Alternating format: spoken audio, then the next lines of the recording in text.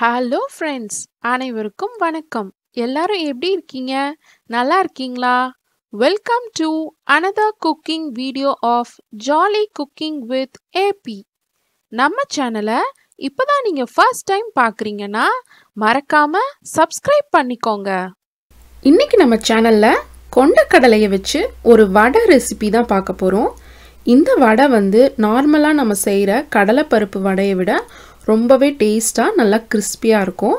வாங்க இப்போ ஃபஸ்ட் அதுக்கு என்னென்ன பொருள் தேவைன்னு இப்போ நம்ம பார்த்துக்கலாம். ரெண்டு கப் கொண்டக்கடலையை எட்டுலேருந்து ஒரு ஒம்பது மணி நேரத்துக்கு நல்லா ஊற வச்சு நான் இங்கே எடுத்து வச்சுருக்கேன். இது நல்லா ஊறினா தான் நம்ம அரைக்கும் போது நல்லா உங்களுக்கு மசிஞ்சு வரும். அதுக்காக நல்லா ஊற வச்சு எடுத்துக்கோங்க. ஒரு டீஸ்பூன் சோம்பு நாலு பச்சை மிளகாய் தேவையான அளவுக்கு உப்பு ரெண்டு டீஸ்பூன் இஞ்சி பூண்டு பேஸ்ட் ரெண்டு கொத்து கருவேப்பிலை நாலு பச்சை மிளகாய் கட் பண்ணி வச்சுக்கோங்க.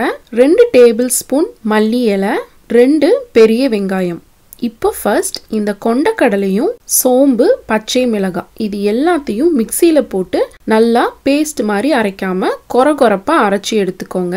நான் உங்களுக்கு அரைச்சி எடுத்துட்டு எந்த அளவுக்கு அரைக்கணும்னு நான் காட்டுறேன். பாருங்க இந்த கன்சிஸ்டன்சியில் தான் நீங்கள் அரைச்சி எடுக்கணும். இந்த மாதிரி எடுக்கிறப்போ நம்மளுக்கு உருண்டை பிடிக்கிறதுக்கு கரெக்டாக வரணும். ரொம்ப தண்ணி மாதிரி அரைச்சிங்கன்னா உங்களுக்கு உருண்டை இந்த மாதிரி பிடிச்சிட்டு தட்டி போடுறதுக்கு கரெக்டாக இருக்காது. இந்த மாதிரி அழகாக நம்ம உருண்டை பிடிக்கிறப்போ இந்த மாதிரி நம்மளுக்கு தட்டுறப்போ ஈஸியாக வரணும். இந்த கன்சிஸ்டன்சியில் அரைச்சி எடுத்துக்கோங்க. இப்போ இது கூட நம்ம எடுத்து வச்சுருந்த இந்த எல்லா இன்க்ரீடியன்ஸையும் ஆட் பண்ணிட்டேன். இப்போ இதை நம்ம நல்லா மிக்ஸ் பண்ணிக்கலாம். பாருங்கள் ஃபுல்லாக மிக்ஸ் பண்ணியாச்சு. நம்ம இப்போது வடையை தட்டி எடுத்துக்கலாம். இப்போ பாருங்கள் இந்த மாதிரி கொஞ்சோண்டு இதிலேருந்து எடுத்துக்கோங்க. இந்த மாதிரி பால் மாதிரி எடுத்துட்டு லைட்டாக நடுவில் வச்சு ஒரு ப்ரெஸ் பண்ணிங்கன்னா வடை உங்களுக்கு சூப்பராக வந்துடும் இப்போ இதே மாதிரி நான் எல்லா வடையும் இந்த மாதிரி தட்டி இந்த தட்டில் எடுத்து வச்சுக்க போகிறேன் இந்த கன்சிஸ்டன்சியில் அரைச்சிங்கன்னா தான் உங்களுக்கு இப்படி தட்டுனாலும் உடஞ்சி வராமல் எண்ணெயில் போட்டாலும் பிரிஞ்சு வராமல் எண்ணெயும் ரொம்ப உங்களுக்கு குடிக்காது. கரெக்டான பதத்தில் உங்களுக்கு எண்ணெய் அப்படியே சூப்பராக இது வந்து கிறிஸ்பியாக உங்களுக்கு வெந்து வரும். இதே மாதிரி எல்லாத்தையும் நீங்கள் வந்து உருட்டி தட்டி எடுத்து வச்சுக்கோங்க. இப்போது ஸ்டவ்வில் ஒரு பாத்திரம் வச்சுட்டு தேவையான அளவுக்கு எண்ணெய் ஊற்றிக்கோங்க எண்ணெய் நல்லா ஹீட் ஆனதும் நம்ம தட்டி வச்சுருந்த ஒரு ஒரு வடையாக இதில் ஆட் பண்ணிக்கலாம். ஸ்டவ்வை மீடியம் ஹீட்டில் வச்சுக்கோங்க. ரொம்ப ஹை ஸ்பீடில் வச்சிங்கன்னா மேலே மட்டும் நல்லா உங்களுக்கு மொறு மொறுனும் உள்ளே வந்து வேகாமல் இருக்கும். அதனால் மீடியம் ஹீட்டில் வச்சுட்டு இதை நம்ம ஃப்ரை பண்ணி எடுத்துக்கலாம். இந்த மாதிரி நல்லா திருப்பி திருப்பி போட்டு ஃப்ரை பண்ணிக்கோங்க. பார்த்திங்களா பிரிஞ்சு வராமல் கரெக்டாக வந்திருக்கு. இந்த மாதிரி நீங்கள் அரைச்சிங்கன்னா இந்த மாதிரி எந்த இதுவுமே உடையாமல் உங்களுக்கு சூப்பராக வந்துடும் அதே நேரம் எண்ணெயும் ரொம்ப குடிக்காது. பாருங்கள் இது சூப்பராக இப்போ ரெடி ஆயிடுச்சு. இந்த மாதிரி கோல்டன் ப்ரௌன் வரும்போது நம்ம எடுத்துடலாம். பாருங்கள் எவ்வளோ சூப்பராக நல்லா கலர்ஃபுல்லாக உங்களுக்கு நல்லா மெதுவடை சூப்பராக ரெடி ஆயிடுச்சு கொண்டக்கடலையில் இப்போ அதே மாதிரி நான் மிச்சம் இருக்கிறது எல்லாத்தையும் போட்டுட்டு உங்களுக்கு காட்டுறேன்.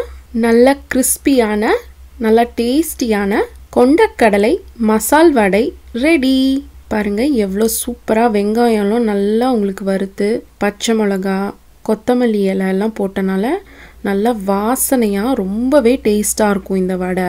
கடலைப்பருப்பு வடையை விட இந்த வடை வந்து நல்லா சாஃப்டாக உங்களுக்கு சூப்பராக இருக்கும் சாப்பிடும் போது நீங்கள் எல்லா வெரைட்டி ரைஸ் கூடயும் இந்த வடையை வச்சு சாப்பிட்லாம். ஈவினிங் டைம் ஸ்நாக்ஸில் நீங்கள் இதை வச்சு சாப்பிட்லாம். பாருங்கள் இப்போ நான் இந்த வடையை உங்களுக்கு பிச்சு காட்டுறேன். வெளியில் நல்லா மொறு மொறுன்னு உள்ளே நல்லா சாஃப்டாக சூப்பராக வெந்து வந்திருக்கு. இப்போ இதை நம்ம டேஸ்ட் பண்ணி பார்க்கலாம்.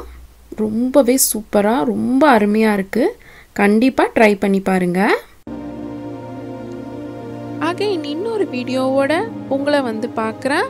இந்த வீடியோ உங்களுக்கு பிடிச்சிருந்தா நீங்களும் செஞ்சு பார்த்துட்டு கமெண்ட்டில் சொல்லுங்கள் தேங்க்ஸ் ஃபார் சப்போர்ட்டிங் லைக் பண்ணுங்கள் ஷேர் பண்ணுங்கள் மறக்காமல் சப்ஸ்கிரைப் பண்ணிக்கோங்க. அப்புறம் பக்கத்தில் இருக்கிற பெல் பட்டனையும் கிளிக் பண்ணிக்கோங்க.